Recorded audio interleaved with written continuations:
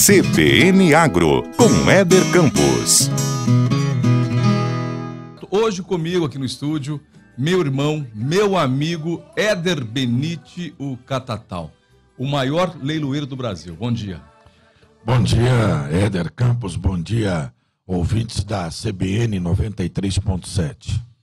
Imenso prazer bater um papo com você, voz marcante desse moço. Bom, quem é do setor rural, quem é da, do, quem participa de leilões, com certeza conhece esse moço aqui, viu? Éder Benite. Tudo bem? a gente está recebendo já algumas, algumas perguntas aqui ah, é? do pessoal, querendo saber um pouquinho da sua vida, viu? Hoje nós vamos, é, hoje né? nós vamos vasculhar a sua vida aqui, viu? Perfeito. Como diz, é para pagar ou é para receber? o programa de hoje né, começa muito animado, né? Com o Catatal, grande personalidade do setor rural. Catatal, as pessoas estão perguntando aqui no, no nosso WhatsApp quando você começou sua carreira, onde você começou sua carreira, mas antes da gente responder essa pergunta, ah. eu quero convidar a quem está nos acompanhando também aqui pelo rádio para acompanhar a gente pelo Facebook. Nós temos ali a nossa nosso perfil. Nesse momento a gente transmite uma live para todo o mundo, né, através do Facebook, é CBNCG oficial, para você assistir, acompanhar. E se você quiser participar do programa, mandando o seu WhatsApp, sua pergunta para o Éder Benite ou Catatal, fica à vontade. 9 99323500. Ou quem tem o meu WhatsApp ou do Catatal, fica à vontade, pode mandar também aqui as suas perguntas sobre a carreira desse rapaz aqui do Catatal. Eu falo rapaz porque ele tem a mesma idade que eu. Se ele fala que ele, se eu fala que ele é mais velho, logo eu estou me colocando também no andar de cima já, né? É isso aí. Bom, é, primeiro, bom dia a todos os, os, amigos de todo o Brasil. Quando nós falamos a respeito do agronegócio, quando nós falamos do que representa isso não só para o estado do Mato Grosso do Sul, mas a nível de Brasil, é sem dúvida nenhuma é poder falar com bastante propriedade, né? Eu acho que esse é o trabalho, eu acho que isso é o que representa e o que fomenta a nível de Brasil hoje todo o histórico que nós temos em relação a essa mudança política, em relação ao que aconteceu há, há cinco, a seis anos atrás, e o que é, realmente muitas pessoas, como eu costumo dizer, em outras ocasiões já tive o prazer de estar e, e poder falar bastante a respeito desse trabalho, o que, que é? É poder falar que o agronegócio representa muito o nosso trabalho, representa muito aquilo que nós produzimos, que o Brasil produz, que poucas pessoas conhecem um produtor rural, um pecuarista, né, um agricultor. Quer dizer, todas, é, todos esses dois segmentos, quando nós falamos, muita gente, eu costumo dizer o seguinte, que muita gente acha que nos grandes centros, muita gente acha que o leite já vem numa caixinha, né? Isso é um absurdo, mas é uma grande verdade. Quer dizer, saber que tem um produtor rural, saber que tem alguém tirando um leite quatro horas, cinco horas da manhã, debaixo de chuva, debaixo de sol, né? Vacas é, produzem leite todos os dias, de segunda a segunda. Não existe feriado, não existe, não existe dia santo. E vaca se pare também, né? É, todos os dias. Feriado, ela não deixa de, de, de exercer o seu papel como mãe. Entende porque eu começo o programa sempre com essa música do Dom Ravel, Obrigado ao Homem do Campo? E Todos os lembra... sábados eu começo com ela, né? Desculpa. Nos lembra muito um grande companheiro, um homem que realmente, até hoje, ele representa muito para a pecuária do Mato Grosso do Sul e para a pecuária brasileira, que é o nosso saudoso Rubim Catenaz. Na verdade, eu... isso. Pode subir, pode subir, sobe a música. Deus abençoe os braços que fazem o suado cultivo do chão. Inclusive, inclusive, tá, tá, tá chegando Rúvio Barbosa, ele mandou um recado. Depois eu vou responder para você, viu, Barbosa? Ah, responde agora. A capitaliza. Qual, é a pergunta do fundo? Ai, é? ai, ai, ele é uma figura, né? A Capitaliza Leilões é uma empresa também que representa muito para o nosso estado, uma das empresas que representa muito para o agro, para o nicho de agronegócio do nosso estado e do Brasil, né? Se você falar em PIB, se você falar em, em, em, em movimento, o que representa isso, o que significa isso, quando nós falamos em produção, realmente é uma empresa que emprega não só né, na sua cidade de origem, que é Rio Verde, mas também Campo Grande e grandes eventos a nível de Brasil. A Capitaliza Leilões do meu amigo Fúvio Barbosa. Abração, Fúvio. Vou começar aqui uma, um bate-papo agora um pouco mais é, bem pontual, Catatal, Ah. sobre carreira de leiloeiro, Vamos lá. sobre leilões rurais, porque é uma prática muito comum pelo Brasil todo, pelo Brasil rural. Eu Perfeito. acho que, que é o, o- o modelo de negócio para venda de gado que mais tem repercussão no Brasil, né? que, a venda- que são animais vendidos através de leilão. Leilão. Um pouquinho da história do- dos leilões. O- os leilões começaram no Brasil, acho que copiando o modelo do Uruguai, né? Esse Exatamente. modelo que nós temos hoje, na Exatamente. Itatersal. É, é, nós temos aí um histórico dentro de- desse segmento que é muito bem representado pelo seu Trajano Silva. Ele foi um dos pioneiros, até porque ele é do Rio Grande do Sul e ele trabalhou muito tempo ali na, na região próxima, na divisa com o Uruguai. É, o, o seu Trajano, ele foi pioneiro, ele foi realmente um dos percussores quando nós falamos aí nesta modalidade, neste segmento que é e se tornou uma profissão leiloeiro rural. Quer dizer, nós temos aí como o nosso anfitrião um homem que realmente foi percursor dos leilões do Brasil, seu nosso saudoso Trajano Silva. I- Inclusive, ele morou aqui em Mato Morou, Grosso do Sul, né? morou. No, no final Tem da sua filho, vida, né? Vadico, que também é leiloeiro. Inclusive, a leiloeira leva o nome leiloeira. dele, né? Leiloeira É, Trajano, Trajano Silva. Silva. O Marcelo, filho dele, toca ainda a empresa Isso, lá no Rio Grande do Sul, né? No Bom, esse modelo, então, chegou, entrou no Brasil através do seu Trajano Silva, um modelo copiado do Uruguai, né? E aí surgiu também a figura do leiloeiro, né? Leiloeiro que é aquele que rural. bate o martelo, né? aquele que canta as pedras. É verdade, porque é, se você. No dia desse me perguntaram até na- na- qual é o qual é a grande sacada, o que eu preciso fazer para ser um grande leiloeiro, ser um profissional do Eu sei, hein? Ah, obrigado. Obrigado. É, não, mas não é bem assim, não. Né? Não é bem assim, não. Eu acho que. É, para você falar um palmo do microfone. Por quê? É claro que o leiloeiro Tá rural ele tem né? um estilo diferente de fazer leilão quando usa o microfone. Catatal está acostumado com o microfone. Quantos anos, hein? Que você Ah, bate o mais de martelo? 30, 30, né? 30, 30 alguma anos. Coisa, né? Você não começou como leiloeiro, né? Não, Depois não, você conta um pouquinho da sua história. Trabalhei no maneiro. É, Depois você conta. Vamos falar um pouquinho do, do profissional leiloeiro, esse profissional. É, ser leiloeiro rural, né? Como, como que faz para se tornar um leiloeiro rural? Eu acho que primeira coisa você tem que ter dom para isso. Primeira coisa, eu acho que em qualquer profissão, né, você pode ser um, um, um engraxate, mas você, você ter dom para ser um engraxate e dos melhores. Né? Toda profissão eu acho que tem que, tem que ter é, esse perfil, essa conduta. O leiloeiro, leiloeiro rural, e ele tem que conhecer, ele tem que estudar, ele tem que aprender, né? ele tem que se dedicar. Tem que entender do quê? Tem que entender de, evento. tem que entender do quê? Do gado, do cliente ou do mercado? tem que entender do gado, tem que entender do cliente, tem que entender de mercado. Porque leiloeiro é um vendedor, muito né? bem. Com É. muitos argumentos de vendas, né? Sem dúvida, né? É a mesma coisa. Se você for vender um carro, você tem que saber quais são o que realmente é como Os opcionais, os benefícios do automóvel. É, esse carro ele tem um vidro elétrico, ele tem airbag duplo, ele tem isso, aquilo. É a mesma coisa. Para você falar realmente de um touro, de um reprodutor, de um gado de corte, né? Você tem Então, que realmente ter. então não é só ter uma boa voz. Não. É porque, infelizmente, na nossa profissão ainda, é, eu digo isso a nível de Brasil, a nível de Brasil, não só Mato Grosso do Sul, que acho que Campo Grande é até menos, mas a nível de Brasil, é, porque eu falo bonito, eu tenho que ser leiloeiro. Não é assim. Uhum. Não tem essa. é, não- isso não é via de regra, não. Eu acho que é uma coisa que você tem que. Primeira coisa, é ter o dom, você tem que entender daquilo que você Do tá gado em especial, né? Entender de Evidente, pecuária. Evidente. E a escola da Capitaliza Leilões, para mim, foi uma grande escola para você ir para o curral, para você apartar um gado, É. para você entender, formatar os lotes. Né? É interessante você falar sobre escola, porque você não começou batendo o martelo. Não, não, eu comecei. Na verdade, quem me levou para dentro do- dos leilões foi o senhor Carlos César Freitas Jorge. Desculpa, o senhor Carlos César Freitas Jorge, que é o nosso amigo Carlinhos, que O pisteiro, o maior pisteiro do Brasil, né? infelizmente nos abandonou hoje, né? Eu gostei daquela roupa que você me disse. né? A Convidei- caminhada na Afonso Pena. Cadê o Carlinhos? O Carlinhos, Carlinhos Freitas. Convidei ele para vir hoje também para falar sobre a profissão pisteiro.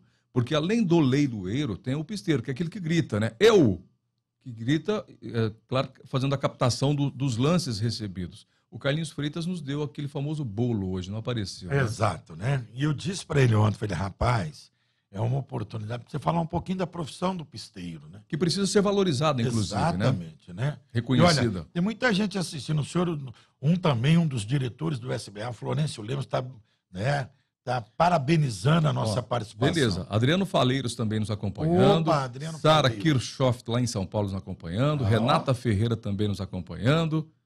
Olha Turma boa, né? Uma boa. Se o Florencio batendo palma para nós aqui. É isso aí.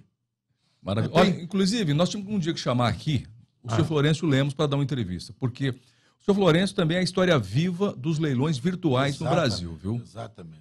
Eu tive o prazer de acompanhar. Bom, falar do, do canal do Boi, esse canal que realmente foi pioneiro, tá? Em transmissões de, de leilões. A primeira venda de um gado na televisão, no gado filmado. Quer dizer, tem todo o histórico. Hoje, evidente que tem outros canais, mas o canal do Boi foi pioneiro. Deixa eu fazer uma pergunta então sobre isso. Os leilões mudaram a partir do uso da televisão através do- dos leilões O virtuais advento transmitidos? da televisão Teve impacto foi muito uma- grande. Foi muito impactante quando você olha pelo lado comercial, né? Porque dentro do lado comercial tem muitas coisas que envolve a comodidade, o cliente que vai na sua propriedade, filma um gado, você tem aí a disponibilidade de apresentar os animais a nível de Brasil, porque às vezes o, o pecuarista tem fazenda no Mato Grosso do Sul, mas mora no estado de São Paulo, mora no estado de Minas, mora no Paraná, né? Então, o- tem o, o- o- pecuarista que mora em Campo Grande, no Mato Grosso do Sul, em outros municípios. Então, é, eu costumo dizer que o canal do boi, ele é o elo entre quem está vendendo e para quem precisa fazer a sua reposição. Inclusive, não é porque nós trabalhamos com o canal do Boi, né? É. E nós somos, na verdade, frutos do canal do Boi, né? Como profissionais do agro. Não é Exatamente. porque nós trabalhamos lá que a gente vai falar bem do canal. Não é por isso, não. Mas o canal do Boi é um divisor de águas na pecuária brasileira Sem quando você dúvida. fala em leilões rurais, em venda de animais. Olha, O ano passado, o canal do Boi vendeu mais de 40 mil touros o ano passado. 40 mil touros. reprodutores, para ver a importância. Inclusive, é o primeiro canal de agronegócio eh, do Brasil. Uma linguagem, a linguagem de comunicação rural que existe no Brasil hoje, a linguagem, foi o canal do Boi que criou. Assim como a Globo criou a linguagem da televisão jornalística no Brasil, de Perfeito, novelas, perfeito. o canal do Boi é o criador da linguagem da comunicação rural no Brasil que nós temos hoje. E olha, e, e tudo que aconteceu dentro do agronegócio, porque isso aconteceu através do canal do boi, né? Foi criado esse nome Canal do Boi, muita gente não acreditava. Eu acompanhei todo esse processo desde o início, né? Toda a sua trajetória, a primeira comercialização, a primeira filmagem de gado em uma propriedade. Então, isso dá esta condição desse grande eh, empresário que é o senhor Cláudio Godoy, que acreditou nesse nicho de mercado. Né?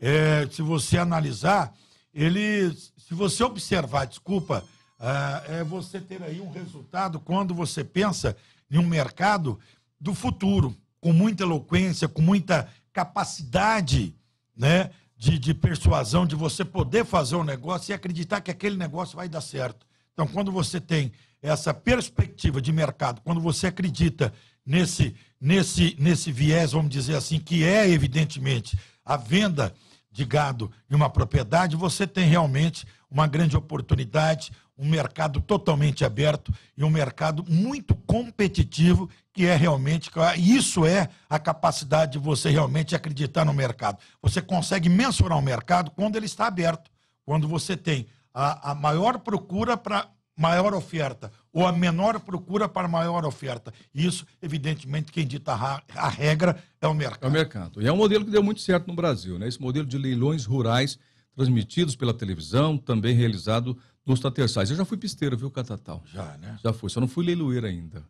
Não fui, nem sei, não sei se Você é serei. obrigado, valeu, Não, dá, né? Obrigado, valeu. né? obrigado, valeu. Depois nós vamos fazer aqui um- uma, uma simulação de Vamos, leilão, vamos, tá? vamos. Daqui a pouquinho, viu? Ó, sobe, sobe a trilha aí.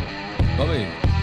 O que está fazendo essa música do CBN Motors dentro do CBN Agro, Éder Campos. Bom dia, Paulo Cruz. Bom dia, doutor Éder. bom dia aos nossos ouvintes, bom dia aos nossos entrevistados. Esse é Éder também. É, cara. Éder Benítio Catatal, o maior leiloeiro do Brasil. Catatal, essa voz aqui, quantos bois já não venderam nesse, nesse mundo afora? Pô, você tem conta de quantos animais já vendeu, Catatal?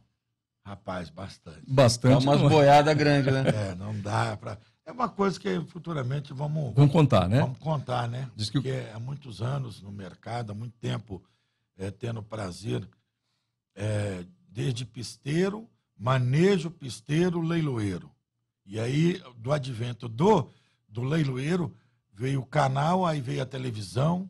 Da televisão, realmente, hoje é um mercado muito aberto, com muito resultado. Com certeza. E a comodidade, como nós já falamos aqui. Com certeza. Você já conhecia Paulo Cruz? Paulo Cruz. Paulo Cruz. É o rei das duas rodas? Das duas, das quatro também. Quatro E se tiver mais roda também, é eu Se tiver uns, uns trucados aí, estamos dentro também. Por sinal, Paulo Cruz, daqui a pouquinho começa o CBN Motors com o Paulo Cruz. E eu tô assim, as pessoas quando querem saber alguma coisa de comprar um carro um novo, uma opinião, o pessoal liga para ele, rapaz. É. Ontem eu fui numa loja e falaram assim para mim: liga pro Paulo Cruz, ele te responde. Eu fui ver moto ontem, Paulo Cruz. O Moto? que, que você acha?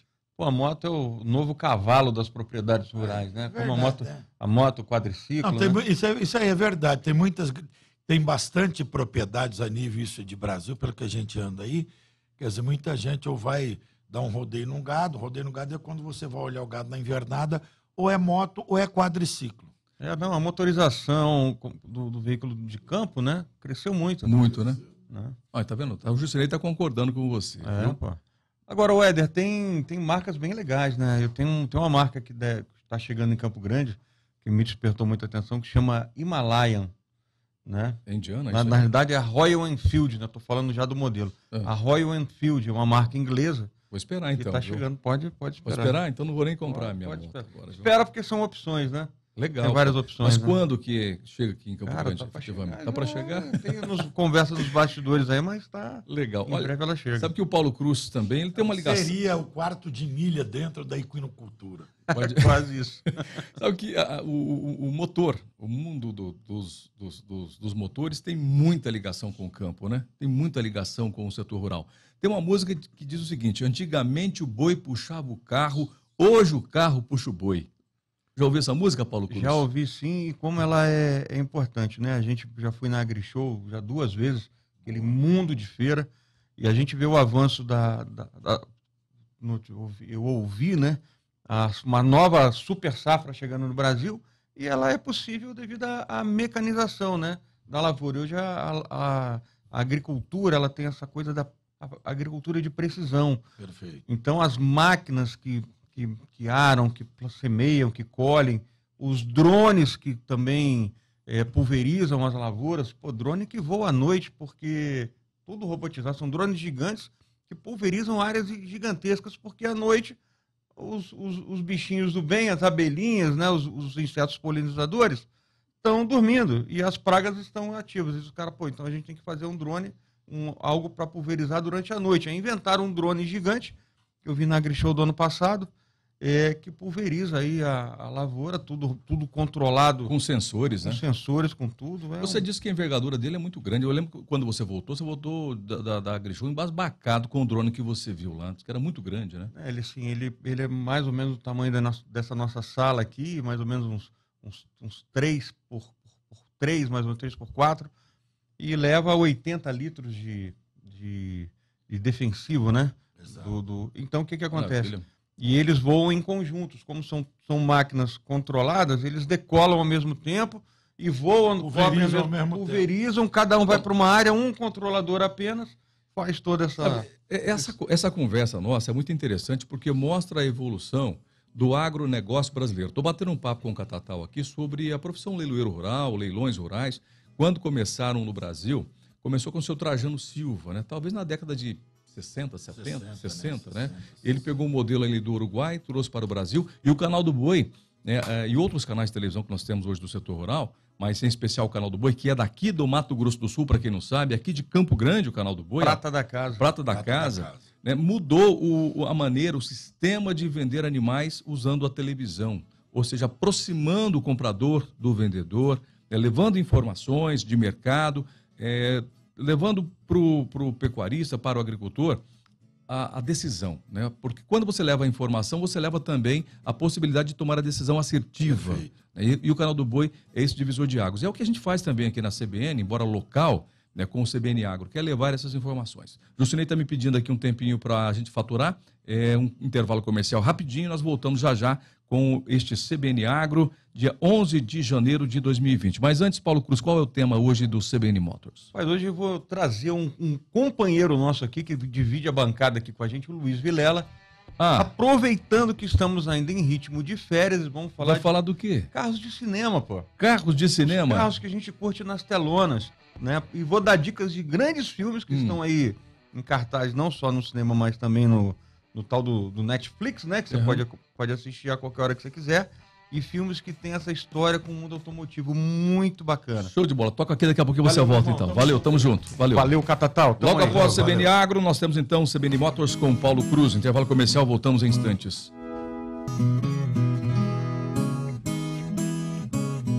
8 horas mais 28 minutos, de volta ao CBN Agro deste sábado, dia 11 de janeiro de 2020, 25 graus aqui no estúdio. Lá fora deve estar é, por volta dos 28, 29 graus.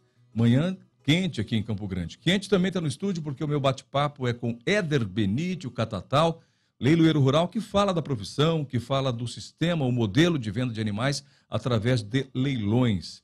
Catatal, a gente bateu um papo agora falando sobre o setor, sobre o segmento, e falamos um pouquinho da sua carreira também. Você começou como, piste... como manejo né, de gado. Comecei a trabalhar no manejo, de, do manejo. É, fui para pisteiro, do pisteiro, de pisteiro. Já fui pisteiro, tá? Depois Já eu conto. Pisteiro, Já né? fui pisteiro. Eu tive o prazer de fazer os grandes eventos, leilões do Brasil, Uberaba. É, os grandes Lá é a meca do Zebu, inclusive, é a meca né? do Zebu, né? Isso é, 25, 30 anos atrás, né? Você está sendo generoso. Pode colocar mais anos aí, vai. Será, Xará? com 20 anos? Com 50? Não, uns 30 anos com certeza, né? 30 anos, né? Com certeza. É isso aí. Então, quando é, os grandes leilões, naquela ocasião, era a, a, a, a Remate Leilões, que era, foi de propriedade do nosso saudoso Ado Carvalho, um dos proprietários da, da, da Remate Leilões, que hoje a Remate faz parte da, da, da, da programa Leilões. né? Mas naquela ocasião a maior, era. A maior um leiloeira do Brasil hoje, Isso. né? Programa Leilões. Isso, e, e, e a Remate, na época, é, era de um dos irmãos do seu Chico Carvalho, que é o Ado. Eduardo Carvalho, né? Ué, do o senhor Francisco Carvalho, é, é, é, bom a gente falar e tocar nesses assuntos, né? O senhor Francisco Carvalho, ele é filho do senhor Rubico de Carvalho. O senhor Isso. Rubico é, vamos dizer assim, é, ele, ele juntamente com o seu Torres Homem, seu Torres. quem mais, hein? Vamos colocar mais nomes aí na história do Nelore no Brasil, porque essas pessoas foram à Índia e buscaram. Cid do Paraná. Buscaram o Nelore. É, esse rebanho que a gente vê hoje no Brasil, de 200 milhões de cabeças de animais, sendo Isso. 80% deles com sangue Nelore, com sangue Zebu, graças a, graças a esses homens né, de Uberaba, de Minas Gerais, do é, Paraná, que foram à Índia e buscaram é genética. Da importação de 62, né? Quer dizer, quando eles foram, o, o Dico também foi um Isso. dos representantes da, da família VR, do seu Torres Homem, junto com o seu Francisco Carvalho, na importação de 62. Nós tivemos aí a linhagem VR, Brumado, linhagem baiana, que é a Casame Padu, que é uma linhagem que ficou na quarentena lá em Fernando Noronha, e o Akazami Padu, essas duas linhagens, ela se fortaleceu e se criou na Bahia, na região da, na, na região da Bahia. Outro dia eu li uma. Até, inclusive está até no site da ABCZ, Associação ah. Brasileira dos Criadores de Zebu. É, lia uma matéria sobre a entrada ou registro dos primeiros animais Nelore no Brasil. Né? Entraram, na verdade, é, é, um casal de animais vindo de um zoológico na Exatamente. E entraram no Brasil como animais de zoológico, não como animais de criação. Né? Não como animais de. Isso aí. De, até então que a raça Nelore, na, na ocasião, quando na importação de 62, ela não, não, não tem e não tinha ah, o devido valor como hoje representa. Tem outras raças zebuínas, zebuínas. tem aí teve naquela ocasião um valor agregado muito maior que a raça Nelore. Legal. Daqui a pouquinho a gente volta depois do repórter CBN para falar um pouquinho do Nelore, né? A mudança que o Zebu trouxe para a pecuária brasileira. São 8 horas mais 32 minutos. De São Paulo, agora informações com o repórter CBN. CBN Agro, com Éder Campos. Muito bem, 8 horas mais 35 minutos. Nós voltamos com o CBN Agro. Já estamos praticamente partindo aqui para a reta final do programa, último bloco, com o Éder Benítio Catatal, que fala sobre a profissão, a carreira de leiloeiro rural e também sobre esse mercado dos leilões. Catatal, antes da gente falar um pouquinho mais sobre o mercado, sobre o Nelore, sobre a pecuária brasileira, qual a expectativa que você tem para a pecuária a partir deste ano? Já que nós tivemos aí alguns anos difíceis, né? De 2014 para cá, viemos amargando aí uma economia bastante arrochada, mas depois tivemos um cenário político totalmente diferente. O, como, e nós tivemos agora, no final do ano, a arroba sinalizando uma melhora na pecuária. Olha, é, eu acho que o ano de 2020 a dois- até 2023 será, sem dúvida nenhuma, o ano da pecuária, o, o ano do agronegócio, né? Como você já mencionou, um banco chinês está tá sendo realmente é uma já é uma realidade, né? É, um grupo chinês, Grupo chinês anuncia a criação de um banco aqui no um Brasil. banco no Brasil. É. Isso aí Pra evidente- fomentar o outra- agro? Exatamente. É um banco totalmente fechado para o agro. Tá certo? Por quê? Não é à toa que o chinês ele tem é, a, a, a visão em relação aos negócios. Estão apostando na recuperação da economia brasileira. Né? Exatamente. Se vai investir é porque está apostando na recuperação. Né? E eles anunciaram na segunda-feira agora a abertura desse banco aqui no Brasil para financiar o setor de máquinas para infraestrutura, inclusive o setor rural. E não é à toa que é, grupos chineses com propriedade no, no- aqui no Mato Grosso do Sul, na região de Maracaju. Se você, quando, eh, se você for a Maracaju, eh, de Cidrolândia a Maracaju, tem propriedades chinesas, com evidente que não pode ser totalmente, né, tendo aí de 20 a 30 ou a 50%, ainda com propriedade, com, com, com a parte de sociedade de um brasileiro. Mas você pode ter a certeza que esse mercado eh, do agronegócio, o mercado do, do, do, do- do- do- da, da- da pecuária, é um mercado muito promissor. Eu acho que as coisas têm que ter um balanço muito interessante. Quando você parte de um princípio que o mercado ele tem que ser soberano e, eh, e ele tem que responder por si só. Então você acredita que 2020 o mercado de venda de animais, o mercado agropecuário especificamente, né, pode atender o telefone? Já tem gente ligando para o Catatal, está dando entrevista, o Brasil inteiro ligando para ele nesse momento, porque acompanha a CBN. Deixa eu falar com quem está falando esse telefone aí. Quem está falando aí? Daqui a pouquinho depois. o povo ligando para ele. Vou ligando, né, O pessoal? Catatal, Todo mundo o Catatal é uma figura icônica né, que nós temos no, no setor rural, não só pela profissão de leiloeiro, mas pela simpatia que ele tem. Todo mundo gosta do Catatal. Não tem quem não gosta. Nunca vi ninguém falar que não gosta de você, Catatal. Isso é bom, né? Isso é um bom sinal. Além de, de você ser um, um profissional que você tem que dedicar naquilo que você faz, quer dizer, toda a trajetória. Comecei meu trabalho. Rio Verde foi uma praça muito importante para a minha formação dentro do agro.